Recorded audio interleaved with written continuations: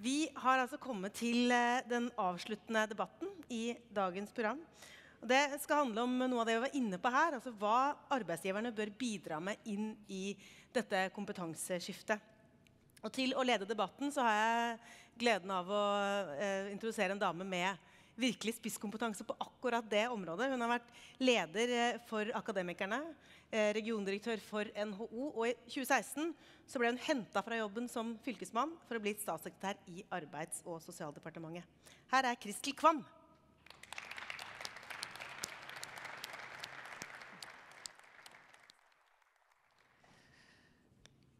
Tusen takk. Jeg har vel sjelden egentlig vært så nær følelsen av å være innenfor eller utenfor som i dag. Men eh, vi er altså fortsatt eh, innafor, i Solberg-regjeringen. Og det er hyggelig, og derfor så kan jeg stå her. Eh, jeg har lyst til å få opp en foil. Vi snakker om et utenforskap. Og vi snakker om eh, 20% osv. Men det er når vi begynner å bryte ned disse tallene Altså at vi vet at det er like mange uføretrygdede som det er i industri, jordbruk, skogbruk, olje- og gassproduksjon. Det er like mange førtidspensjonister og uføre som det er sysselsatt i undervisning og offentlig sektor til sammen, offentlig administrasjon. Like mange med nedsatt arbeidsevne som det er sysselsatt i offentlig administrasjon. Altså når dere begynner å kunne sammenligne disse størrelsene med størrelser som vi ellers kjenner i forhold til hvor mange sysselsatte det er i bransjen, det er da dere kan få et veldig tydelig bilde av hva utenforskapet faktisk betyr. Og når vi da samtidig hører Markussen eh, snakke om at vi, og Viktor Nordmann snakker om at vi, vi, kommer til å mangle arbeidskraft i fremtiden, så kan alle se at dette er ingen bærekraftig velferdssamfunn som vi er med på. Og så har jeg fått muligheten til å skifte på rollene, for vanligvis så er det sånn at partene kommer til regjeringen og utfordrer oss på hva vi kan gjøre. Men i dag skal jeg altså få lov til muligheten til å utfordre arbeidsgiverne på hva dere og hva de kan gjøre. Og til det så har jeg fått med meg Nå må dere komme opp. Eh, Ida Kreutzer, selvfølgelig, som dere allerede har hilst på. Christian Kramer fra NHO. Anne Kari Bratten fra Spekter. Og Vibeke Hammer Madsen fra Virke. Ta imot dem. Hvor skal vi stå? Hvor vil dere stå? det må du, Stine. Du har nedsatt arbeidsevne i dag, Vibeke. ser jeg. Og så Ja, høyrehånda. hodet tror jeg virker, og beina virker. Så Ja. da går det jo. Hei, Kristian. Hei. Takk for sist. Um, det er veldig mange som har vært inne på i dag dette med behovet for kompetanse. Og når jeg så på de tallene der oppe om hvor mange som står på utsiden, så tenker jeg Dreier det seg bare om dårlig helse? Eller dreier det seg om manglende kompetanse? Og jeg tror at en del av svaret ligger i den manglende kompetansen. Og For å begynne med verten vår i dag, Idar. Eh, Benedikte sa at eh, sjefen hennes hadde sagt at om et par år så skulle det være halvparten så mange i DNB. En stor medlemsbedrift hos deg.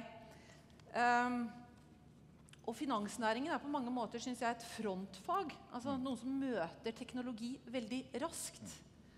Hvordan skal man For én ting er jobbskifte, men hvordan skal man transformere en person med Bankademiet til å bli en datateknolog? Teknolog? Benedikte var innom eh, en, en del av det, men eh, bare la meg gå tilbake et, et lite skritt. Fordi uh, understreke det som, som er, er at hvis ikke vi gjør noe, så vil sant, altså, eh, en stor andel av de funksjonene som utføres i dag, vil bli utført på en annen måte, mm. og vi trenger færre ansatte. I 1998 så var det ca. 50 000 ansatte i banker og forsikringsselskaper i Norge. Vi har hatt en produktivitetsvekst på nesten 100 eh, på 20 år. Eh, og det, er, det var 48 000 som jobbet i banker og forsikringsselskaper etter en produktivitetsvekst på 100, år, eh, 100% og 20 år. Hvorfor? Jo, fordi vi gjør flere ting. Leverer nye tjenester, nye produkter. Så en del av dette det er at det kommer til å bli en automatisering som reduserer antall eh, personer som trenger å gjøre det vi gjør i dag. Mm. men det vi må være veldig opptatt av, er hvordan vi gjør oss i stand til å skape de nye jobbene. Der har arbeidsgiver et betydelig ansvar.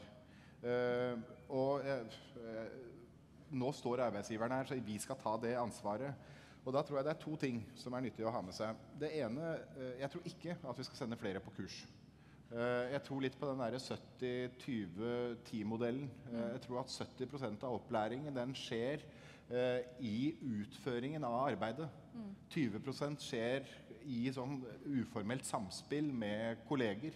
Eh, og 10% bør skje på, på kursing. I dag så er det kanskje bare 50% som skjer på eh, læring på jobben. Det er et stort potensial for å være mye mer bevisst på hvordan vi lærer i utføringen av arbeidet.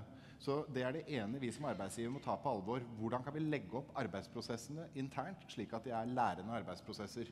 Men er ansetter Kan jeg bare spørre litt inn? For at, men ansetter dere ikke Altså, kan man gjøre det med alle, eller er det slik at man nå ser etter en annen kompetanse enn de som allerede er der? Ja. Eh, og er det sånn da at det er jeg i Arbeids- og sosialdepartementet som får dem? Ja. Ja, hvis, vi først ser, ja, hvis vi først ser på realiteten, da. eh, faktum. Hva var det Lisbeth sa? Hun sa at det er 20 har vært utskiftingen. eh, som er et slags kompetanseskift, hvor de har fått inn ny kompetanse. Når vi ser på tallene for finansnæringen, så ser vi at eh, mye av det som har skjedd av nyansatte den senere tiden, er folk med ingeniør- og databakgrunn, og færre med juss- og økonomibakgrunn. Så det er åpenbart at det vil se, skje et skift. Skifte. Men tror vi på Victor Nordmann, så vil en del av de som da skiftes ut av finans, de vil gå inn i annen eh, menneskenær tjenesteyting, eh, som kan yte tjenester og produkter til eh, en befolkning med økt, kjø økt kjøpekraft. Så en viss utskifting vil det være. Okay. Men samtidig så er det åpenbart sånn at det er stort potensial for å utvikle de folka vi har, eh, gjennom et mye bedre, en mye mer målrettet arbeid i hvordan vi legger opp opplæring i hvordan vi utfører arbeidsoppgavene. Ok, bra. Vibeke, jeg hadde gleden av eh, å være sammen med deg i sommer eh, under Arendalsuka, hvor dere la frem en veldig fin rapport sammen med Fafo på hvordan særlig handelsnæringen er en utrolig god inkluderingsarena, og hvor flinke dere er til å lære folk på jobb. Men også dere står foran denne fremtidige maskin. Sist jeg var på Coop-en på Bislett, så skanna jeg mine egne varer. Det var ingen som hjalp meg. Jeg gjorde alt selv. Ja, det er bra, Ture. Ja. Gjorde jeg òg. Ja. Men hva tror du, hvordan tror du det kommer til å virke i forhold til eh? Dette har tradisjonelt sett vært en bransje som har tatt inn ganske mange av de med lavere formell kompetanse. Ja, De er jo de som har altså Hele varehandelen med 370 000 er jo de som har hatt mulighet til å ta ut de som har stått utenfor, de som har falt ut av skolen tidlig, og gitt de eh, trening på jobb.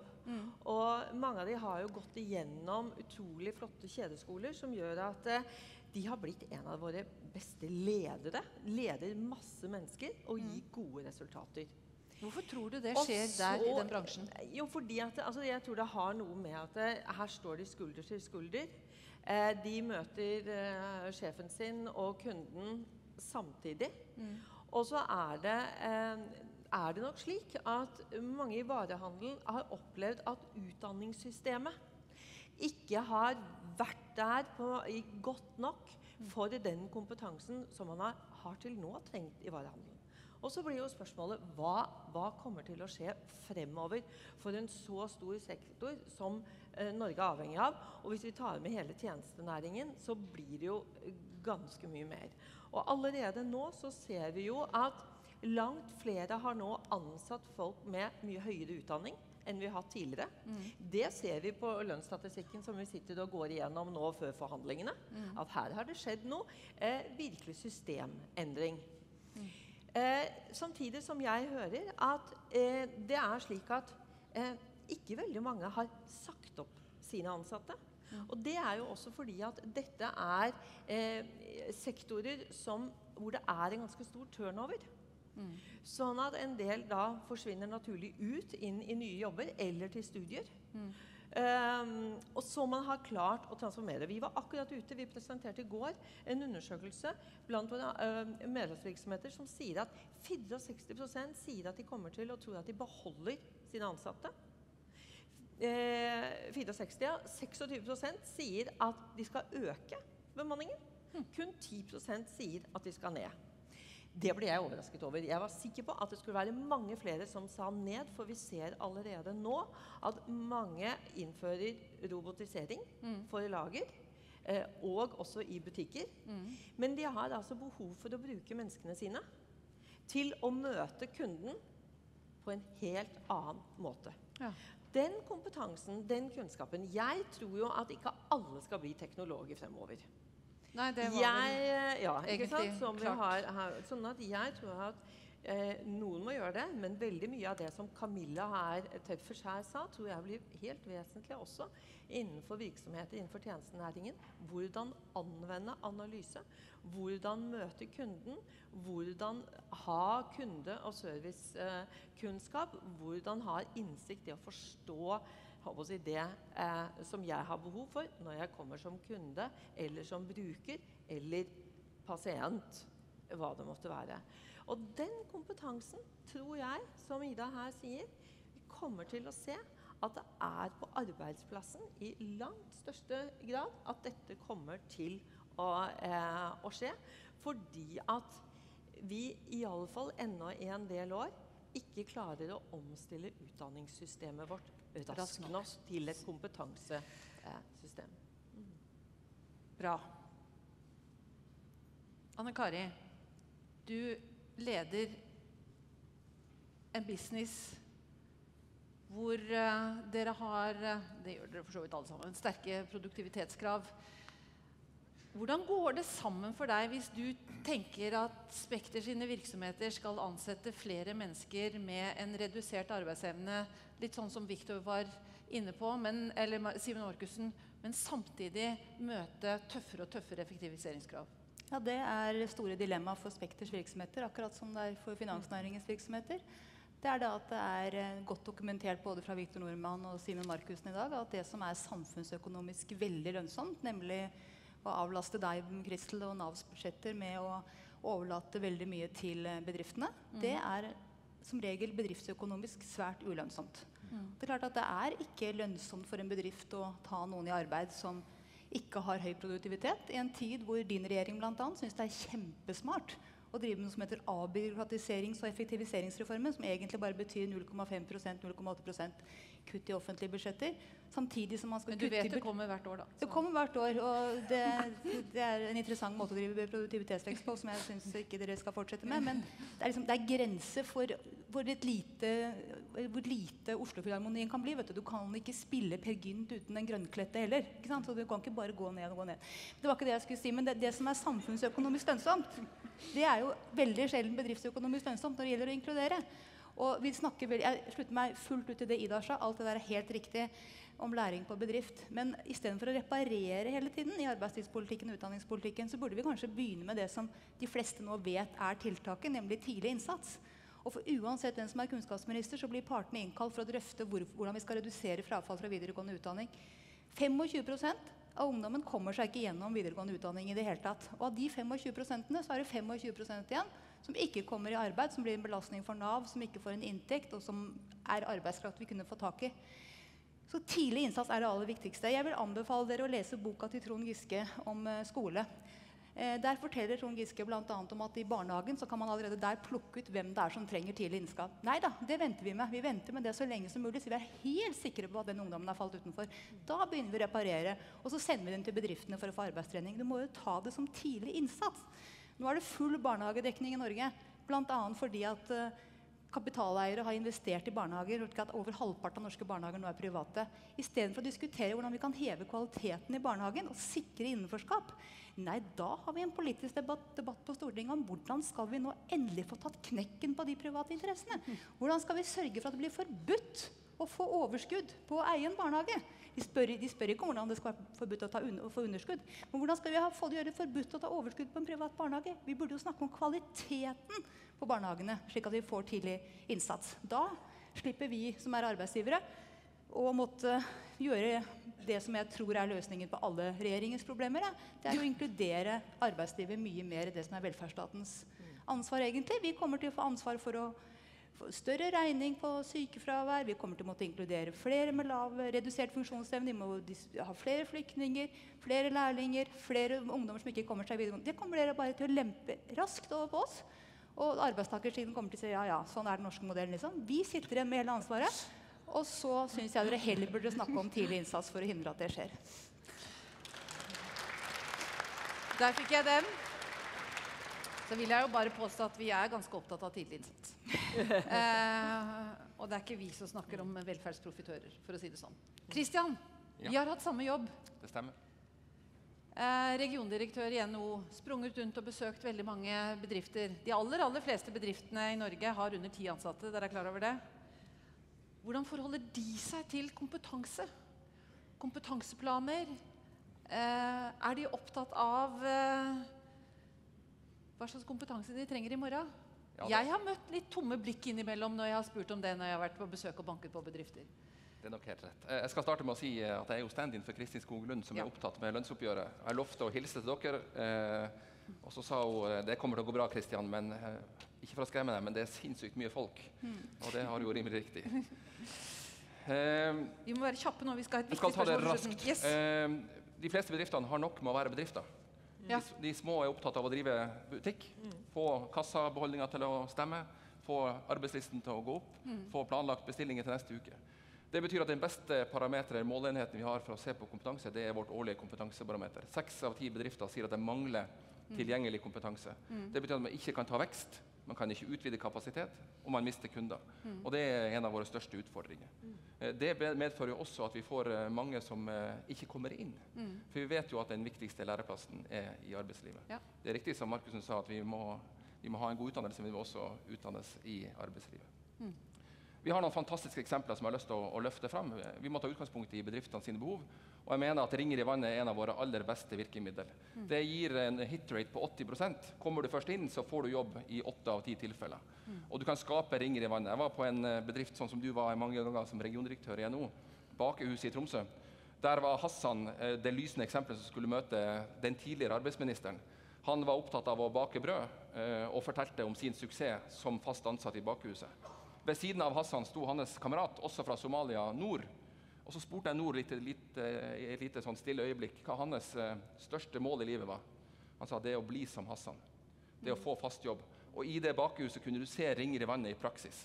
Bedriftens behov var først, men det å få en jobb er det like viktige for den ansatte. Og så skaper det en sånn positiv be- bevegelse. Og det må vi få mye mer av. Vi må ha mer satsing på lærlinger. Vi må ha mer satsing på bedriftsintern opplæring. Og vi må ha en tettere dialog mellom arbeidslivet og utdanningsinstitusjonene. For vi er nødt til å få en matching mellom det vi skal ha i dag, og det vi skal ha i fremtida. Da ga du meg en godt stikkord. og Nå skal jeg, bare, jeg skal begynne med deg, Anne Kari, men eh, dere kan raskt prøve å bare følge på. Fordi at det, det siste spørsmålet er egentlig um, Hvis et trepartssamarbeid skal fungere godt, så må vi ha relevante partnere, relevante organisasjoner. Dere må evne å rekruttere nye medlemmer. For det er ofte utgangspunktet også for, de, for, for eh, arbeidstakere å melde seg inn og få tariffavtaler osv. Hvordan skal dere evne å være attraktive for de nye bedriftene, de nye organisasjonene? Eh, er det slik at dagens Altså at Spekter er så attraktive at man med en gang tenker at der skal jeg melde meg inn? Eller er det sånn at en bedrift tenker at jeg trenger jo egentlig bare en veldig god forsikringsavtale, så jeg går til et av Idar Kreutzer sine medlemmer og kjøper meg det. Jeg trenger ikke en hovedorganisasjon. Jeg trenger ikke en tariffavtale. Og tariffavtaler er noe som ganske mange nå begynner å ha et litt distansert forhold til. Hva tenker du om det, Anne Kari? Jeg tenker at Det er to trusler mot den norske modellen som alle bejubler. Det ene er at modellen blir holdt opp som et skjold mot endring. Man sier at det er i strid med den norske modellen å gjøre det ene eller det andre. Politikere sier på Stortinget at eh, fylkeskommunesammenslåingen den er gjort bare for å spare penger. Mange fagforeninger sier at de er imot noe fordi det bare er for å spare penger. Sist jeg sjekka, så er det verken i strid med den norske modellen eller tariffstridig eller umoralsk faktisk å spare penger. Det er faktisk sånn vi gjør det her i Norge. Så det å holde opp den norske modellen mot et skjold mot endring er feil. Den norske modellen er endring. Det andre er det du sier, det er fallende organisasjonsgrad. Nå har LO mindre enn altså mindre enn 25% av de sysselsatte i Norge er nå medlem av LO. Det bør bekymre flere enn LO. Ingen er interessert i noen av oss som står her i regjeringen hvis ikke vi representerer mange av det samme gjelder LO. Det som er arbeidsgivers bekymring, det er at det er flere og flere bedrifter som lar være å organisere seg fordi de for det første er bekymret for en AFP-kostnad, som jo er altså, grå, altså Vi vet jo at den er grovt underfinansiert. Det andre er at de er redd for å få en tariffavtale fordi tariffavtalen er hugget i stein. Altså, tro meg, jeg har sett mye rart altså, i sene nattetimer. Det er krav om at ingen skal tjene mindre enn gjennomsnittet på denne bedriften f.eks. Jeg har eh, medlemmer i kultursektoren som får krav fra organisasjonene om at dersom de får for mye applaus, så skal de ha overtid for den tiden det står her å ta imot applausen. Altså fri for å jobbe hos en annen arbeidsgiver i tre måneder med lønn f.eks. Det er helt utrolig. Og det går ikke an, nesten ikke an i Norge å få endret en tariffavtale. Det er lettere å endre Grunnloven. Du får bare nye ting inn, du får ikke ting ut. Så i kortet så er det bare rett og slett den er ikke tilpassa. Nei, altså den er ikke tilpasset. Og jeg mener at det er en kjempefare hvis ikke organisasjonene klarer å rekruttere flere medlemmer både på arbeidstaker- og arbeidsgiversiden. Og jeg bare minner om hvordan det gikk med dinosaurusene. Vi så en foil med det her i stad. De var tunge, de var store. De var udødelige, og så døde de. Og Tariffavtalene er tunge og store, og de må ikke bli udødelige, for da svekkes hele den norske modellen. Og da må vi må kunne endre tariffavtalen i, strid, i, i hvordan teknologien endrer seg, markedet endrer seg, samfunnet endrer seg. Og det er en av de største bekymringene for den norske modellen. Idar, og så går jeg venner. Anniken viste oss i, i sted et arbeidsliv som blir stadig mer individualisert, hvor frilanserne spiller en, eh, en viktigere rolle. Vår utfordring er at vi representerer et system som er basert på kollektive løsninger. Ja. Og hvordan være relevant basert på kollektive løsninger i et arbeidsliv som blir mer individualisert, det er utfordringen. Ja. Uh, og da tror jeg at både arbeidsgiversiden og arbeidstagersiden har alt å tjene på å sette seg ned og så si at ok, nå må vi lage tariffavtalen 2.0. Uh, som er tilpassa virkeligheten. I- Altså, hvis det er litt avvik mellom kartet og terrenget, så er det ofte smart å gjøre noe med kartet. Uh, det, er, det er billigere. Og det må vi gjøre sammen. Og det tror jeg haster. Fordi vi ønsker alle å være relevante i morgendagens arbeidsmarked. Ha høy organiseringsgrad både på arbeidstakersiden og arbeidsgiversiden. eh, og da må kartet passe til terrenget. Vibeke? Når vi snakker om dette, så snakker, er vi jo veldig enige om at vi trenger et organisert arbeidsliv. Det tror vi på. Og så hopper vi rett på tariffavtalen. Men det jeg opplever og ser, det er jo at eh, vi på arbeidsgiversiden så økes jo graden av organisering. Altså det kommer jo hele tiden nye bedrifter til som ønsker å organisere seg. Og være med på arbeidsgiversiden og være med i eh, å dette, dette nettverket og få bistand. Dermed ikke sagt at de ønsker tariffavtaler. Nei. 80% av våre virksomheter har ikke tariffavtaler, men de er altså organisert. Og så blir vi da utfordret fra arbeidstakersiden er helt riktig at dere må hjelpe oss til og, eh, at de ansatte på deres eh, arbeidsplasser organiserer seg. Og som jeg da stiller det spørsmålet Ja, men hør nå her. Er tariffavtalene attraktive nok? så kommer de ansatte til å organisere seg, for de giverne har gjort det. Er vi, eh, si, eh, er vi omstillingsdyktige nok? Altså det som, eh, som du var inne på. Og det tredje er er vi egentlig, har, har vi da det gode produktet for også de små bedriftene og frilanserne? Svaret er jo nei. Det er jo det som er utfordringen vår. Og da er vi over til Kristian. Ja, det er så rødt her nå med 0, 0, 0, 0, 0, så jeg bare OK, Kristian? Helt kort. Eh, vi tror at vi skal bli mer digital som arbeidsgiverorganisasjon eh, arbeidsgiverorganisasjon og møte det som kommer også på arbeidstakersida. Det at man har eh, flere som ønsker å bli medlem, helt åpenbart. Jeg tror eh, helt sånn uvitenskapelig undersøkt. De fleste som ikke er medlem hos oss, når man spør hvorfor er du ikke medlem, om fare for å gi et godt råd til Virke, de fleste svarer det er ingen som har spurt. Så på samme måte som Helgeland Sparebank sa at vi kommer til å måtte sette maskinene sammen med menneskene, så må vi ha folk ute. Og vi styrker vårt regionapparat, for det er ute i hele Norge at bedriftene finnes. Det er der det skapes verdier. Og vi skal være sammen med dem og løse de utfordringene vi har, enten det er kompetanse, utenforskap, eller det er morgendagens samferdselsløsninger.